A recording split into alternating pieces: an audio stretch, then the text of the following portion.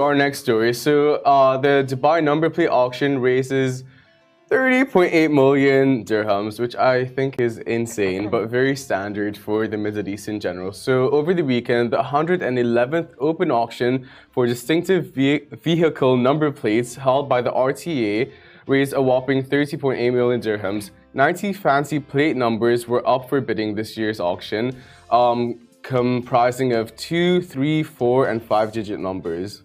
So the most desired plate was O36, auctioned off for 2.64 million dirhams, followed by U66666 for 1.46 million.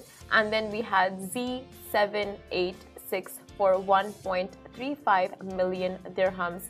Um, Very standard for the Middle East. Yeah, standard. like, the love for plate numbers or number plates is insane. Like it's the same in Oman, it's the same in Kuwait, it's the same in Qatar. It's all across the region. Like yeah. people would rather a nicer plate number or number plate than a nice car.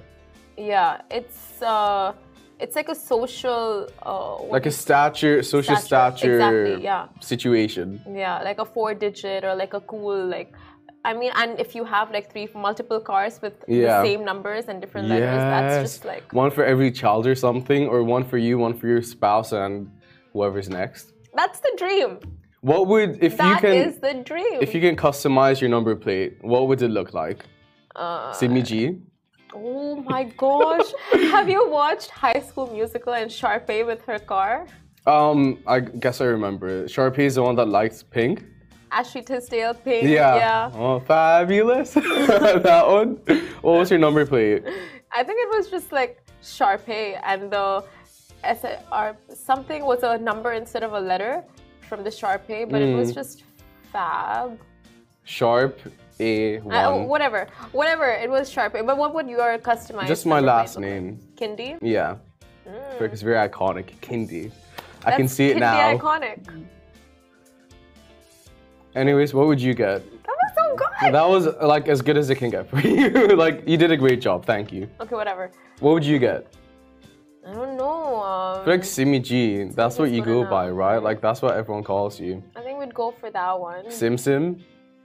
Sim Sim. No, that would remind me of you. Sim Sim's a spice also in Arabic. What is it? Yeah. And it's also that.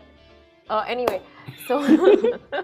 but I think it's insane. Like the amount of money spent on number plates. Is it an investment, by the way, a car number Totally, 100%. Yeah. Like, in 10 years' time, someone's going to want that exact number and are willing to pay whatever it takes. I think I probably wouldn't.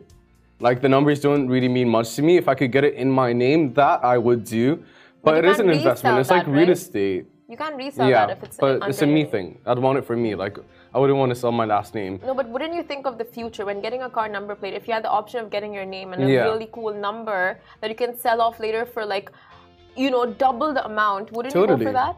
One hundred percent. Yeah. If I had the option, I'd get my last name. But it is real estate. It people will buy it for more than you bought it for. Mm, like yeah. my brother got his first car that he paid for on his own and everything, and he got a plate number with it. But then he got another car and felt obliged to get a different plate number, you know? Mm. So I don't know, it's just like, it's culture. that must feel nice getting a car with your own hard earned money. it is. Must be an amazing cloud nine sense of achievement. Yeah, good on people that do so.